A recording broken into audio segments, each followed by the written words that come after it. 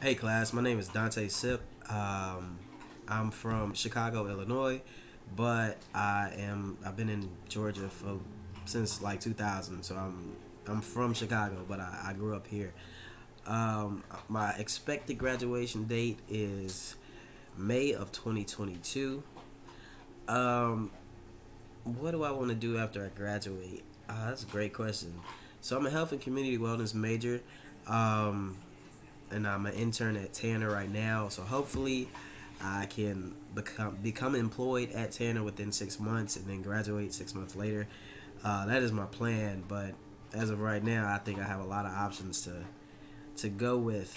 Um, something I'm interested in now is um, becoming a millionaire. If I'm being honest, um, I, I've been reading and looking up all types of ways to to become a millionaire, and that is my interest.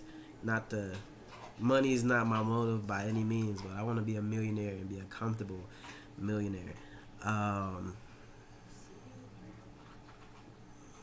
one interesting fact about myself. Um,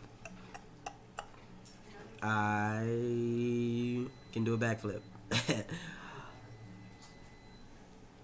oh, why did you choose UWG?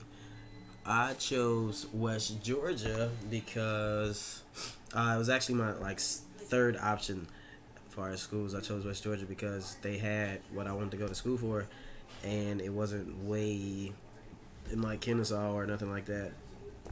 Uh, it just interested me at the time, and I think that's it. So yeah, it's nice to meet you guys.